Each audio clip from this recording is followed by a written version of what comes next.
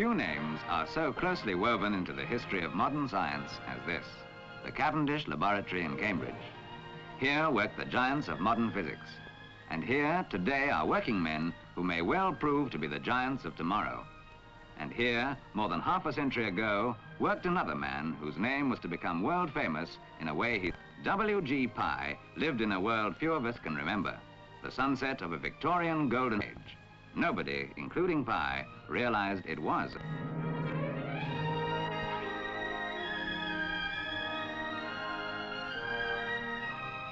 For Pye, indeed, it was a time of branching out. In 1896, when these pictures were taken, he left the Cavendish laboratory to set up on his own at a quiet spot on the river bank in Cambridge. He flourished and was ready for bigger premises by 1903. A historic year for science, as Lord Rutherford, who used many of Pye's instruments in his revolutionary work, said shortly before his death. A great change in our ideas resulted from the discovery of the electron and of the spontaneous radioactivity observed in the heavy, heavy elements, uranium and thorium. Soddy and I were able to show in 1903 uh, that radioactivity was a sign and measure of the instability of atoms, and that the atoms of uranium and thorium were undergoing a series of spontaneous transformations. Few of the citizens of Edwardian Britain knew about all this, and still fewer cared. They went on making the most of their sunset. As for W.G. Pye, by 1913, his sun was rising steadily, and he moved to the site of the present main Pye factory. But even outside, the world was changing. Women, if you please, were demanding the vote. And the portents of a strange new kind of warfare could be seen. The First World War that was to try them out came soon enough.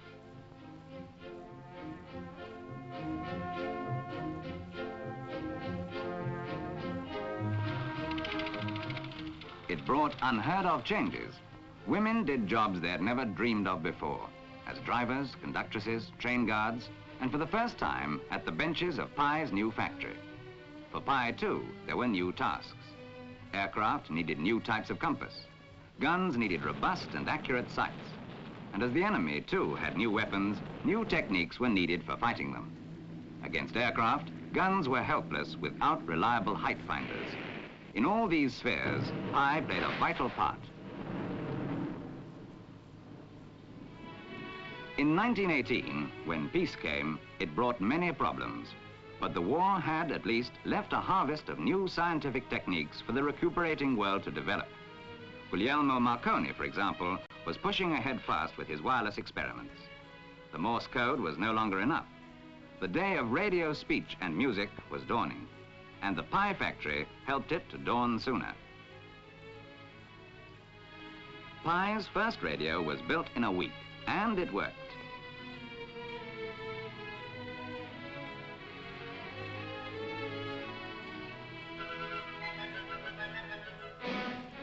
But the crying need was for a really efficient audio transformer, so Pye designed the first, and by 1924 were producing 200 a week.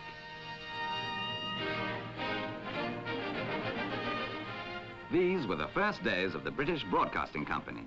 Station 2LO on Savoy Hill was the beginning, in the 20s, of a revolution so vast that few as yet even began to realize its national and international implications.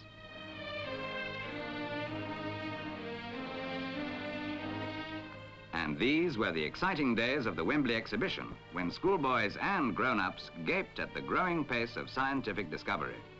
But other things were moving already. In a little room in Soho, an obscure inventor named Baird was tinkering with the impossible, vision by wireless.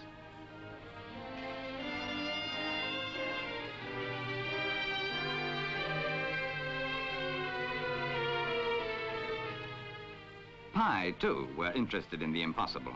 And while the giants of the 20s were catching the public eye, the Pye scientists were quietly thinking about the 30s and 40s. The 20s roared to their fabulous end while Pye were setting up their first television laboratory. There were big developments in sound radio, too. For example, the first superheterodyne set.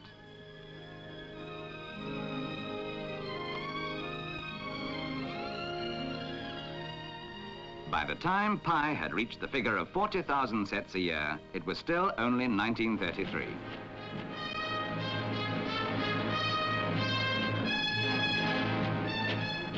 But that particular shadow had not yet shut out the European sun.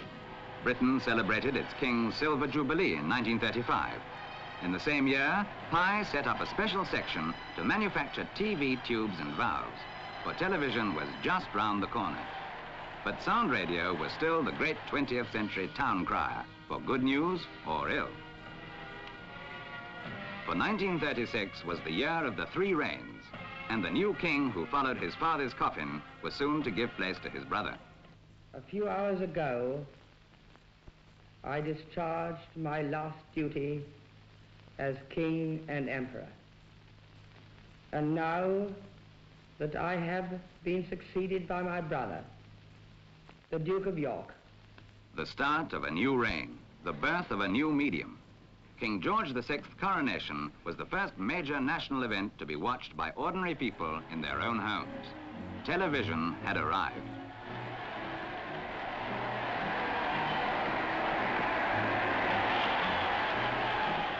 BBC television experimented and expanded.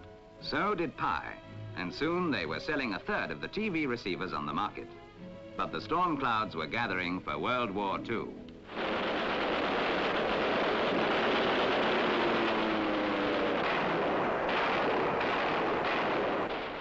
No time to think of television now, but the effort had not been wasted. It was to bear unexpected fruit after Dunkirk.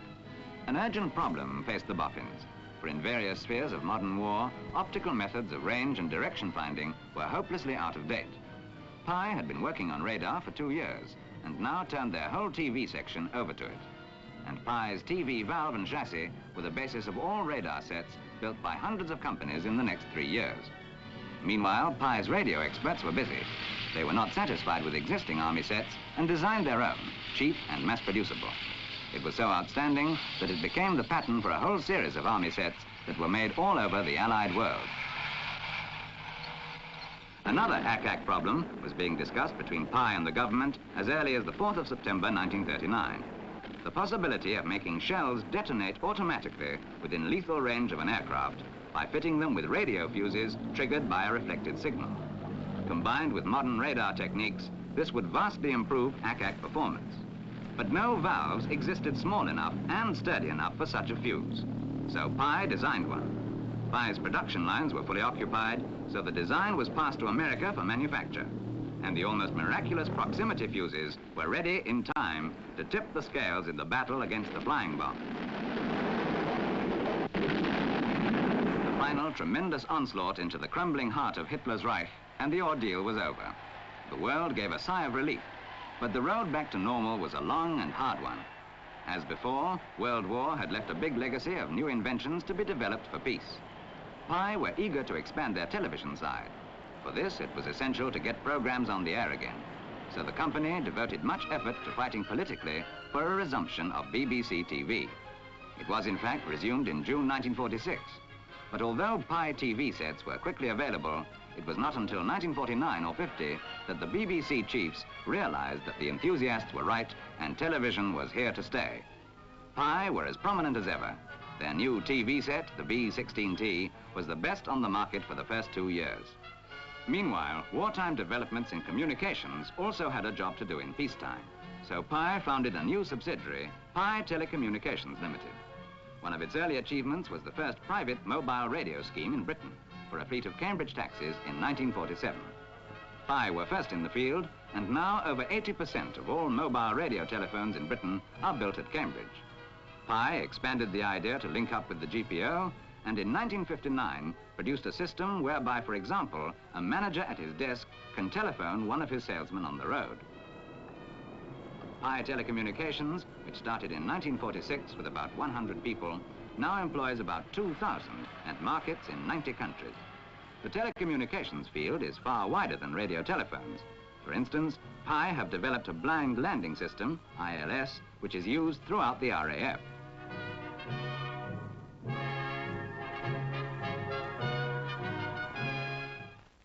This system, which is the basis of hands-off landing, has proved so successful that it is also being installed at civil airports in many parts of the world, including Hong Kong, Moscow, and Geneva.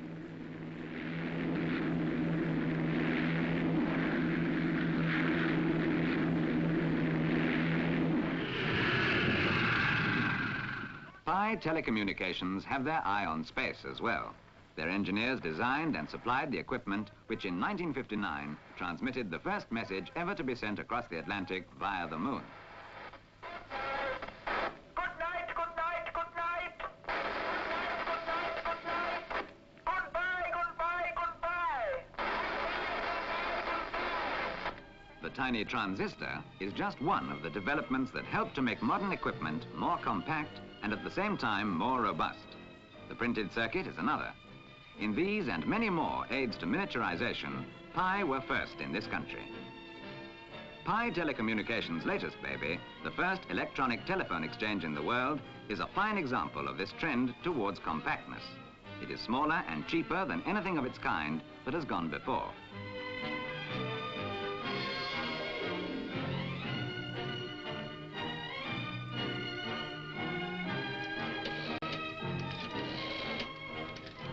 Meanwhile, Pye have maintained their leadership in the home radio and TV field. But they were not only concerned with receivers. Having fought harder than any other company to get BBC TV and ITV on the air, they helped to create a worldwide demand for new transmitting equipment as well as sets. They exported outside broadcast units to Russia, Belgium, and many other countries.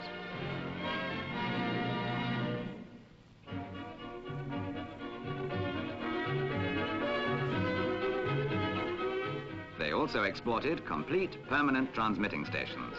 In Baghdad, Pye engineers designed, built, and initially operated the first TV service in the Arab world.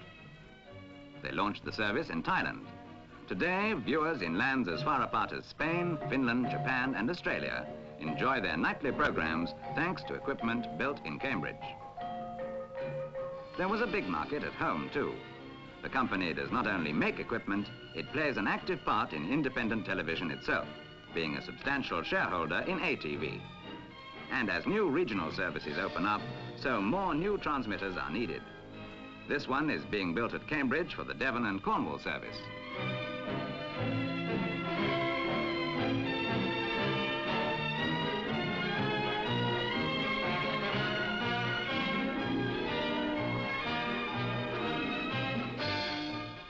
But entertainment aside, Pye pioneered in other television applications. Here is a recent closed-circuit television system in use between branches of a Manchester bank. Pye's first experiments in this field were in 1952. From this has grown a range of equipment which is compact, versatile, and far less costly than normal studio equipment. And its use has expanded enormously. For example, on the Shell building site near the Festival Hall, for inspection in places where it would be dangerous for a man to go.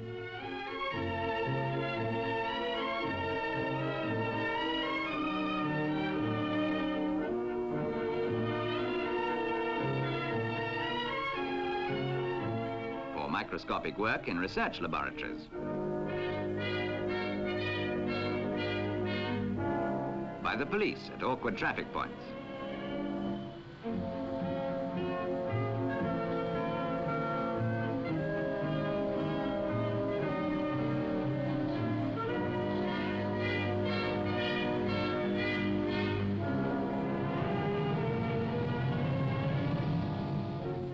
Operating theaters.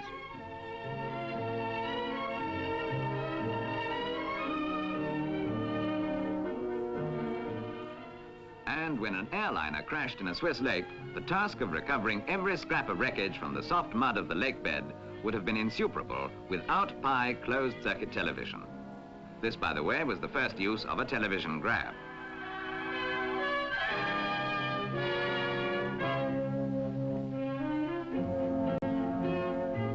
Once again, the moon. Television has added a valuable instrument to the armory of the astronomer.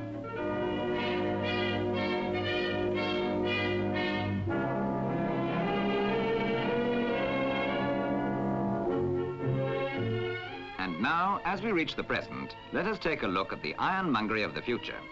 For those who work in it and for anyone who grasps the pattern of today's world, Pye Instrument Group is perhaps the company's most exciting investment in tomorrow. Already we are surrounded by automation. Tomorrow, automatic machines will be the bricks and mortar of our civilization. And Pye make the instruments which control those machines.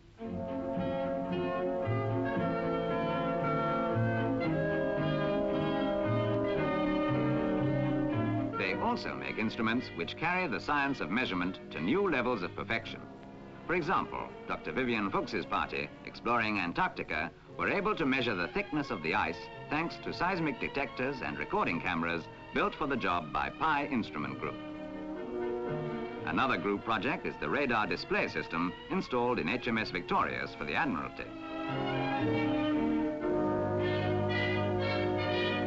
The electronic lung, which can be used in all cases of breathing difficulty, including paralysis, was developed by W. Watson and Sons, a member of Pye Instrument Group, in cooperation with Cambridge. More success in the medical field. The soniscope, a sensitive and selective electronic stethoscope, which, with its associated cardiophone, can amplify and record the faintest sounds inside the human body. This instrument is a product of another group member, Faraday Electronic Instruments Limited.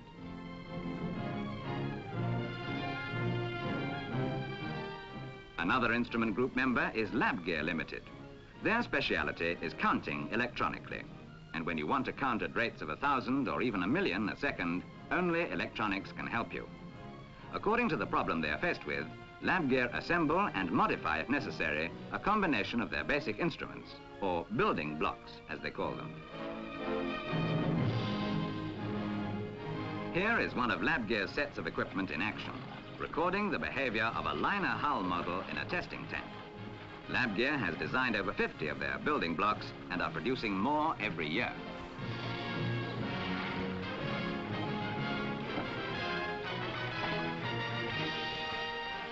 The phrase member of the Pye Instrument Group means what it says. Pye do not swallow small firms. They give them the support of a powerful organization, while at the same time giving full scope to their individual traditions of skill and craftsmanship. Unicam Instruments Limited is just such a member. Founded by three craftsman brothers, of whom this is one, Mr. John Stubbins, it had not the financial strength to stand on its own.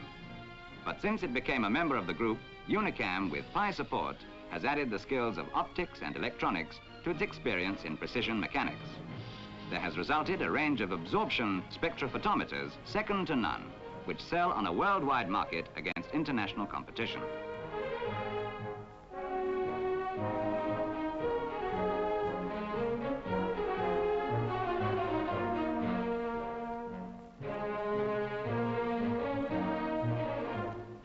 Oldest firm of them all, WG Pye Limited itself, is not a big concern compared with some of its lusty children, though it's big enough to need new premises. It makes the best equipment over a wide range of electrical, optical, and chemical measuring instruments. And it leads the world in a fascinating field of gas chromatography. The Pye argon chromatograph is so sensitive that it can check the flavor of a popular drink by analyzing its aroma or detect the minutest adulteration in a food product. Industry is only beginning to discover the full scope of this remarkable technique. Pye, of course, is not confined to Britain. Pye subsidiaries in Australia, New Zealand, Ireland, and Canada repeat on a large or small scale and with local variations the pattern we have described. This was yesterday.